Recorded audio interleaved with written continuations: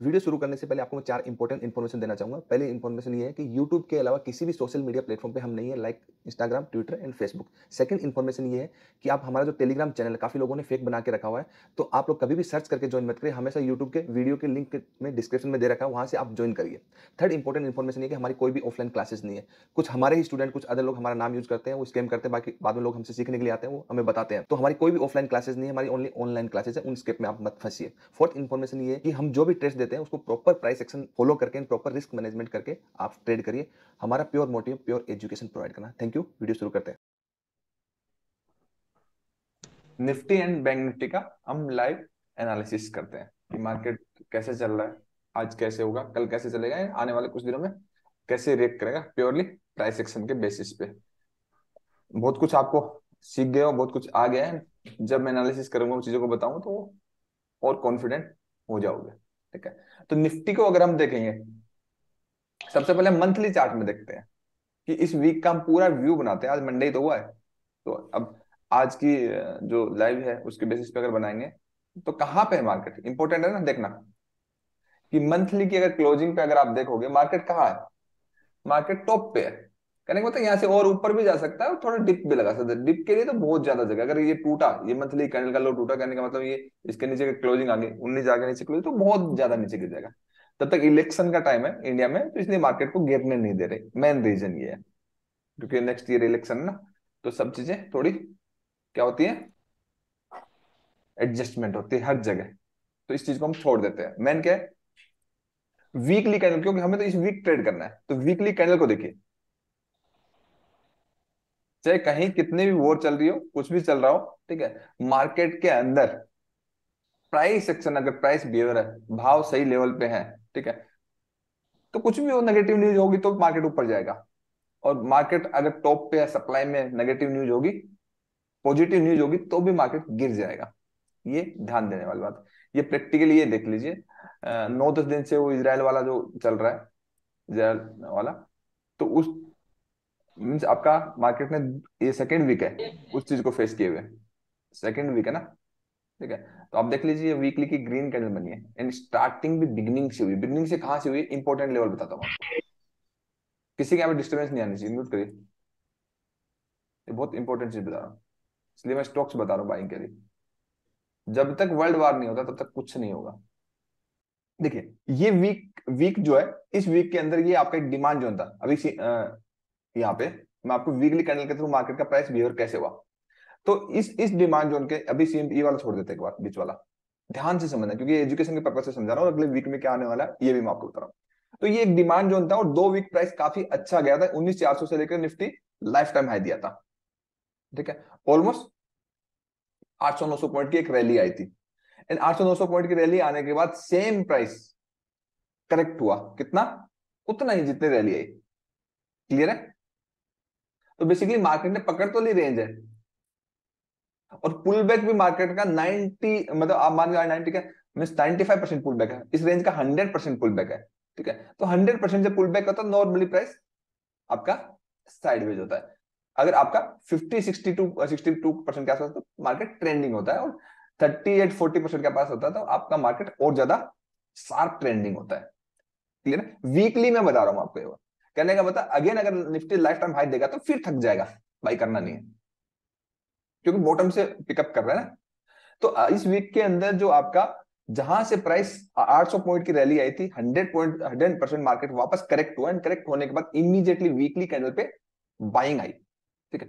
Means उस week के अंदर बाइंग आई एंड बाइंग आने के बाद इमीडिएटली प्राइस ऊपर क्लोज हुआ। ये डिमांड जोन था डिमांड जोन की पावर है कि डिमांड जोन में आते ही लास्ट फ्राइडे को प्राइस ऊपर क्लोज हो गया। उसके बाद अगेन ये शो हुआ कि उन डिमांड जोन की क्लोजिंग के मीन ये ओपनिंग पॉइंट है और ये क्लोजिंग है। इसके ऊपर कोई भी कैंडल क्लोज करी वीकली के अंदर, निफ्टी अंदर। निफ्टी ने वीकली के अंदर कैंडल बिल्कुल क्लोज हुई। इट मीन ये बुलिश साइन है। समझ में आया?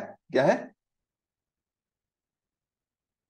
ये आपका वीकली के अंदर अगर ये ओपनिंग पॉइंट है इस कैंडल का, ये वीक का एंड सेकेंड वीक का, ये आपका ओपनिंग एंड क्लोजिंग पॉइंट है तो इनकी क्लोजिंग जो ग्रीन कैंडल है, इसके ऊपर है इट मीन प्राइस के अंदर स्ट्रेंथ है, ऊपर जाने की प्राइस एक्शन तो यही कर रहा है वीकली के अंदर। एंड ये ऊपर कहाँ तक जा सकता है? देखो वीकली के अकॉर्डिंग तो कोई दिक्कत नहीं है कहने का वीकली के अंदर हो सकता है एक रेड बन जाए, फिर एक ग्रीन बन जाए, हो सकता है एक रेड बन जाए, एक ग्रीन बन जाए, एक रेड बन जाए, एक ग्रीन बन जाए। करने का अगेन लाइफ टाइम हाई का टारगेट है प्राइस का वीकली के अंदर। वीकली तो यही सजेस्ट कर रहा है कि हो सकता है, दीपावली तक एक ही कैंडल पहुँच जाए, और हो सकता है चार वीक में दो वीक एक वीक नीचे जाए एक वीक तो दोनों सनेरियो लो टाइम फ्रेम में शिफ्ट करेंगे तो मैं समझ में आ जाएगी प्राइस कैसे कैसे बिहेव करेगा। तो वीकली के अंदर मार्केट के अंदर क्या है? पॉजिटिव स्ट्रेंथ है। जैसे आपका बालकृष्णा इंडस्ट्री मैंने बताया था, उसका भी मैं बाद में एनालिसिस करके बताऊँगा आपको इवनिंग में। उसके ऊपर एक बार हम एजुकेशन के पॉइंट ऑफ़ व्यू से चलेंगे ताकि आपको एनालिसिस भी हो जाएगा, आपको समझ में आ जाएगा क्योंकि अगले दिन कैसा बिहेवियर हो रहा है। तो एजुकेशन एनालिसिस को मैं एजुकेशन के साथ लिंक करके जोड़ रहा हूँ ताकि आपको अगले दिन दिखे भी वो चीज़। वो वैलिडेट भी हो सके कि जो सिखाया गया वो प्रैक्टिकली काम करता है। तो वीकली में हमें क्या समझना, समझ में आता कि प्राइस में क्या है? स्ट्रेंथ है। इतना? एंड जो प्राइस नीचे गया, नीचे जाके रिकवर हुआ है, ये ये इसलिए हुआ है, अगर आप इस चीज़ को देखो किस लिए हुआ है बिकॉज़ अब जब आपका बाइंग आपका कोई भी ट्रेंड होता है, एक अप ट्रेंड होता है तो प्राइस में आपका जब भी डिप होती है तो इंस्टीट्यूशनल बाई करते हैं। जब भी डिप लगाते हैं तो इंस्टीट्यूशनल बाई करते हैं। ये प्राइस बिहेव होता है। ये देखिए, आपका एक नेगेटिव प्राइस बिहेव होता है कि जब भी प्राइस मीन वीक के कुछ एक दो दिन प्राइस ऊपर गया वीक के एक दो दिन ऊपर गया, फिर ऊपर गया, फिर बाद में क्लोज नीचे हो जाता है। समझ में? क्लोज नीचे हो जाता है। क्योंकि ये एक जब प्राइस एक नेगेटिव ट्रेंड होता है तो ये अपॉर्चुनिटी होती है सेल ऑन राइज वाली। मीन जब भी प्राइस इंक्रीज हो, हमें सेल करना है। ये एजुकेशन पॉइंट ऑफ़ व्यू से आपको मैं बता रहा हूँ। अब सेम इधर ये यही स्टोरी रिपीट हो रही है कि वीक के अंदर पहले दो दिन आपका मार्केट नीचे। क्योंकि आप डेली कैंडल में देखोगे तो यही हुआ। ला, लास्ट पाँच कैंडल को देखिए आज ही कैंडल को छोड़ के। एक बार ओपन होने दीजिए। आज ही कैंडल छोड़ दीजिए। One two three four five ठीक है? तो पहले एक दिन मार्केट नीचे खुला फिर ऊपर गया। सेम यहाँ पे भी यही स्टोरी रिपीट हो रही है। कि प्राइस जो है आपका यहाँ पे यहाँ से ऊपर गया था नीचे आया था। दिल्ली का डिमांड जोन फॉलो हो रहा है। तो आपका प्राइस देखिए, यहाँ डिप मिली। अगेन प्राइस ऊपर गया। तो ये भी तो इसके जिस पॉइंट से सेंटर पॉइंट से प्राइस वापस डिप मिली है। मिली है ना? तो ये यूज़ हुई है डिप मंडे को आपका मार्केट फ्राइडे को गैप डाउन ओपनिंग हुआ था और कहने क्लोज कहाँ हुई है? देखा? क्यों हुई? बिकॉज़ ऑफ़ वीकली सजेस्ट कर रहा है कि प्राइस क्योंकि प्रीवियस वीक जो ये ओपनिंग पॉइंट प्रीवियस वीक जो काफ़ी दिनों के मीन कहने का मतलब तेईस सितंबर के बाद पहली बार ग्यारह अक्टूबर को क्लोजिंग आई डेली के अंदर तो वो मीनिंगफुल होती है। अब प्राइस ने पुल बैक लिया गैप डाउन खुला अपॉर्चुनिटी मिली अब प्राइस क्या? ये थो, ये छोटे छोटे हैडल होते हैं ये ये छोटे छोटे हैडल होते हैं उससे कोई इश्यू नहीं था। प्राइस यहाँ पे क्लोज होता है डेली कैंडल का शार्प मूवमेंट जैसे ही आएगा निकल जाएगा ऊपर ऐसे। पहले ये रुक रुक के जाएगा मतलब ऐसे वन वे नहीं जाता पहले यहाँ रुकेगा फिर यहाँ रुकेगा। फिर लाइफ टाइम हाई के पास जाएगा मीन लाइफ टाइम हाई तोड़ेगा, या लाइफ टाइम हाई से फिर रजिस्टेंस लेगा, वो हम उस टाइम देखेंगे। पर प्राइस सजेस्ट ये कर रहा है कि डिप में बाई करना है। क्योंकि आपका अगर देखोगे डेली के अंदर स्ट्रक्चर ब्रेकडाउन नहीं हो वेव स्ट्रक्चर वेव यहाँ से ऊपर स्टार्ट हुआ ये कहाँ से स्टार्ट हुआ? है वीकली के जोन से। एंड डिप लगा है प्राइस के अंदर एंड अगेन प्राइस ऊपर गया है अगेन डिप लगा। Mean it is continuous buying किसी इंडिकेटर की ज़रूरत नहीं है प्राइस को ट्रेड करने के लिए, समझने के लिए। आपको साफ़ साफ़ दिख रहा है, ये कंटिन्यूस बाइंग में है।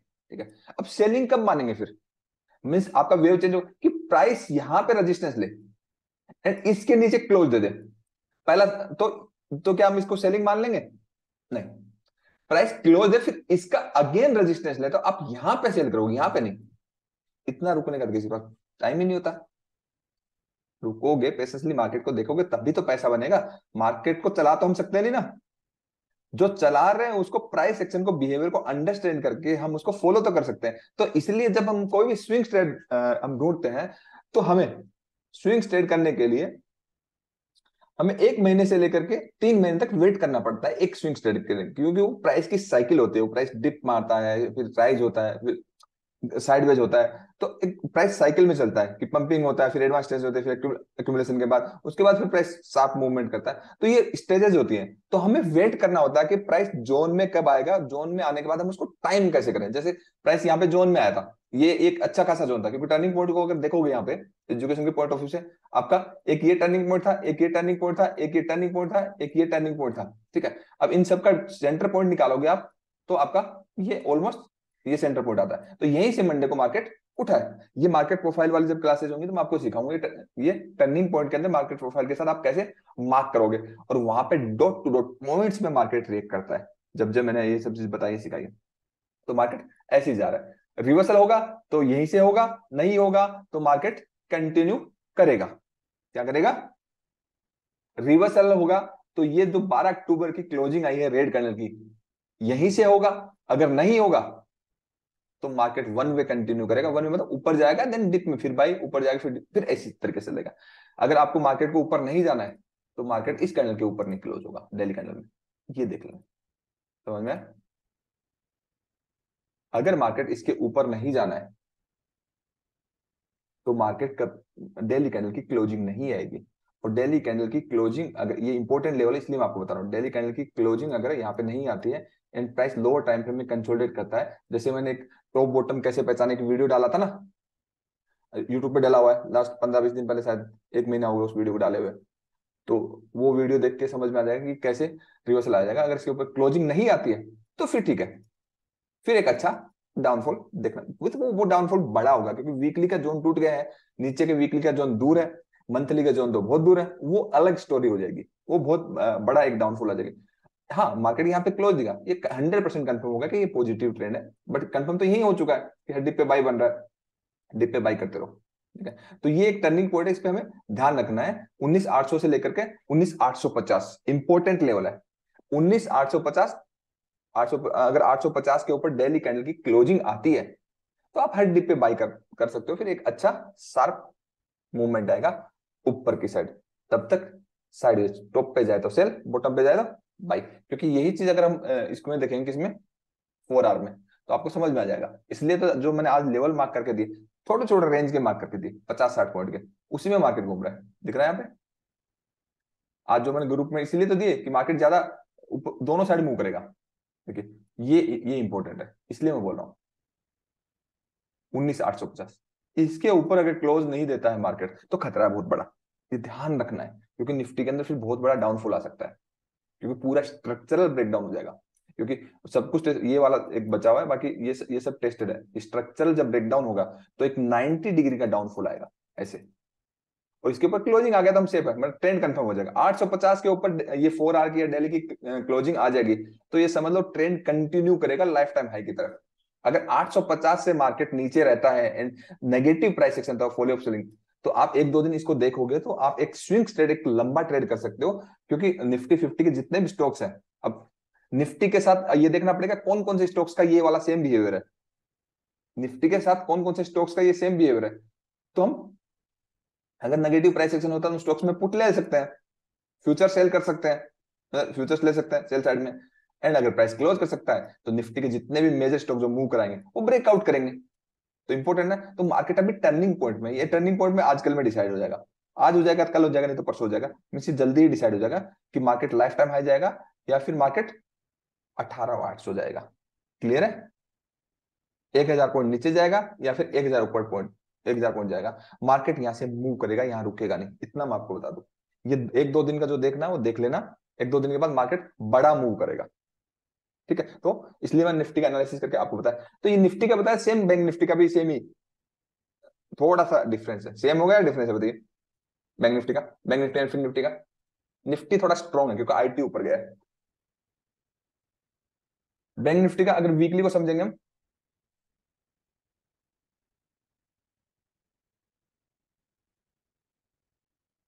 बैंक निफ्टी मुझे एक चीज़ नेगेटिव लगी जब वो लाइफ टाइम हाई नहीं दिया था।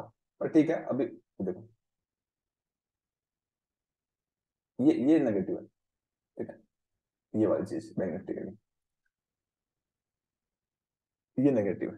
क्योंकि ये जो जहाँ से गिरा था ना, उसके बाद वहीं पे उसका रेजिस्टेंस ले रहा है। ठीक है? यहाँ से निफ्टी का देखते हैं। निफ्टी ब्रेकआउट करता नहीं करता अठारह उन्नीस आठ सौ पचास के ऊपर क्लोजिंग देता नहीं देता नहीं देता तो नेगेटिव सेलअप के बाद फिर सेल करेंगे। क्योंकि बहुत सारे लोग, हो सकता है ट्रैप भी करें मार्केट कि अभी ये चल रहा है कि मार्केट पहले ऊपर जाए और फिर टॉप से धड़ाम से गिराए। ये भी तो पॉसिबल है। तो इंपोर्टेंट है उन्नीस आठ सौ पचास। ध्यान में रखना है इसको, ठीक है? यहाँ से बहुत सारे अच्छे स्टॉक्स के ब्रेकआउट भी होंगे ब्रेकडाउन भी होंगे। तो यही चीज़ देखोगे निफ्टी बैंक निफ्टी का मंथली में लेवल दूर है, जैसे आपका निफ्टी का, ठीक है, ये वाली बात दूर की बात है। बट जब चीज़ें खराब होती हैं तो एक ही कैंडल में, एक ही महीने में आ जाता है। बैंक निफ्टी के लिए कौन सी बड़ी बात है? पैंतालीस पॉइंट दो ढाई हज़ार पॉइंट तो एक दिन में गिर जाता है। और एक दिन में बढ़ जाता है। तो ऐसी कोई दिक्कत वाली बात नहीं, क्योंकि यहाँ पे बहुत सारे लेवल है एलओटीएल है। एक, दो, तीन। तो नॉर्मल सेकंड से रेट करता है सेकंड टेस्टेड है। तो चीज़ें खराब होती हैं तो इधर तक भी प्राइस आ सकता है, कोई बड़ी बात नहीं जब अभी थोड़ा सा देख लेना दो चार दिन के बाद हफ़्ते में पता लग जाएगा कि चीज़ें सही होती हैं, खराब होती हैं। जैसे ईरान वाला सब चल रहा है कि कोई कुछ बोल रहा है, कोई कुछ बोल रहा है तो उस तरीके से अगर होता है तो इस साइड भी मार्केट आ सकता है और निफ्टी का ब्रेकआउट होता है तो वन वे जा सकता है, चीज़ें सही है। मार्केट यहाँ रुकेगा नहीं। और ये चीज़ें जो होंगी मैं आपको बता दू, आज कितनी तारीख है? सोलह है दीपावली तक हो जाएँगी। मतलब एक दो वीक में कुछ होंगी बड़ी चीज़ें, इस वीक के बाद। ये देख लेना। और आपका वीकली के अंदर हम देखें तो इसको वीकली के जोन से उठा है बट बैंक निफ्टी में स्ट्रेंथ नहीं है। देखा आपने? क्यों नहीं है? क्योंकि जहाँ से गिरा ना, ये वही रेंज के अंदर रेजिस्टेंस दे रहा है। कुछ मतलब एक अच्छा बॉटम पे प्राइस एक्शन दिख ही नहीं रहा है। अब इसके ऊपर कहने क्लोज हो जाते तो मैं मानता वीकली के बट नहीं, ठीक है। डेली के देखते हैं। डिमांड जोन के अंदर, ठीक है। अब दिल्ली के अंदर निफ्टी में क्या ये रेंज बना रखी है कि चौवालीस आठ सौ से ऊपर जा नहीं रहा है। नीचे की साइड क्या है? लोएस्ट क्लोजिंग क्या है? लोएस्ट क्लोजिंग ये है। ये नहीं है, ठीक है। और तियालीस आठ सौ मतलब हज़ार पॉइंट में प्ले कर रहा है। ना तो ऊपर जा रहा, ना नीचे जा रहा। जब तक इसको ब्रेक नहीं करेगा ये तब तक ब्रेक इस बार तो ये लाइफ अगर इसको ब्रेक कर देगा लाइफ टाइम हाई देगा, क्योंकि ये लो प्रोटेक्ट हुआ है। ठीक है? एंड इसको ब्रेक कर देगा तो भर भर के बेच देना। क्योंकि हमें तो यही फ़ेज़ चाहिए ना, ये वाला। इसके बाद तो स्विंग स्टेट में पैसा बनेगा ना। समझ में यहाँ पे किसी को नहीं पता ना कि ऊपर जाएगा, नीचे जाएगा। हमें यही फ़ेज़ चाहिए। ठीक है? तो समझ में आया सभी को? कितना इंपॉर्टेंट है ये वीक